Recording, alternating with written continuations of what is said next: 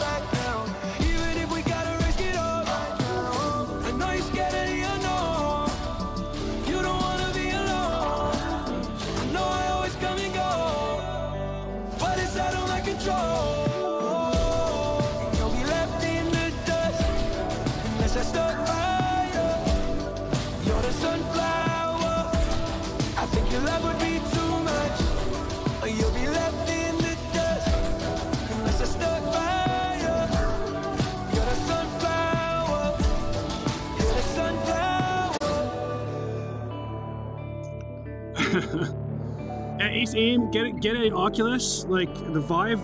Okay, so here's the deal. They're both basically equal. There's trade-offs for